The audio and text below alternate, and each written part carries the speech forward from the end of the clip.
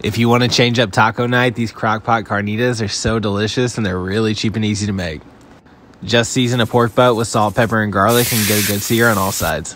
Then you're going to stick that in your crock pot and pour in two cups of chicken broth, half a cup of orange juice, and a quarter cup of lime juice. Add in two tablespoons of minced garlic, the seasonings I've got listed below, about a half cup of green chilies, and a diced onion.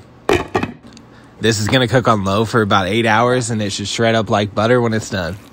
Even with meat prices being ridiculous, pork's still pretty cheap, and this 10 pound butt was like 15 bucks. To make the tacos, I just add some of that pork to a hot skillet to get it nice and crispy.